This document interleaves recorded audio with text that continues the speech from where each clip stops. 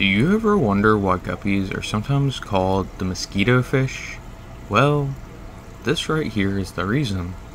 What you're looking at is a live feeding of mosquito larvae, and guppies absolutely love them.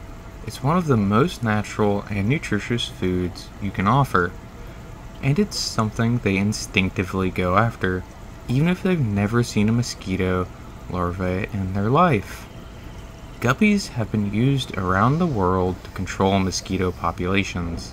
In fact, in some countries, they've been intentionally released into ponds, ditches, even water tanks, all in the name of public health. Because one thing guppies are really good at is hunting mosquito larvae.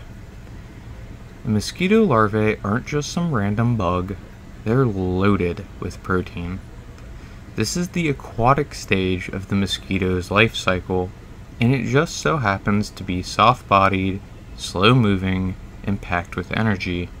Basically, the perfect live food. For guppies, it's like sushi, they'll eat it all day if you let them. And it's not just fun to watch, it's good for them. Feeding mosquito larvae helps boost color, encourages breeding, and can even support fry growth when they're big enough to handle it. It's basically a free superfood, assuming you've got a way to collect them. So how do you get mosquito larvae? Simple. You leave standing water outside.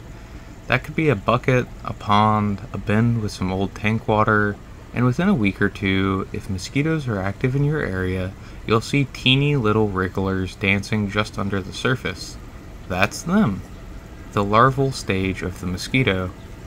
And don't worry, if you feed them to your fish before they pupate and emerge, there's no risk of them turning into actual mosquitoes. I have two layers of tanks. On the top layer are the tanks with guppies, and the bottom layer are just plants. So it's perfect for breeding mosquito larvae. Once I notice them, I just take some of my guppies and move them into the empty tanks to eat all the larvae up. Sometimes I wonder if this is how they'd hunt in a rice paddy or a roadside ditch. There's something kind of cool about seeing your fish do what they've been doing for hundreds of years, long before they became fancy.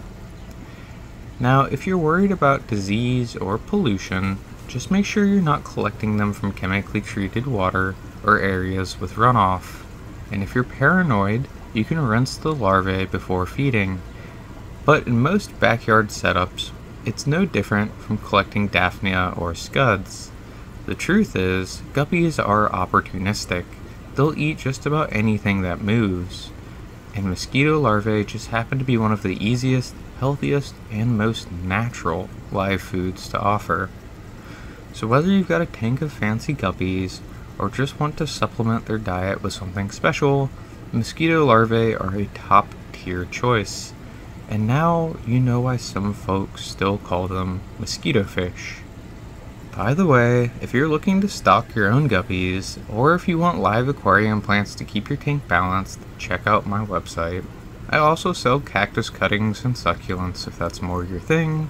Everything's homegrown, healthy, and shipped with care. Thanks for watching, I'll see you guys in the next video.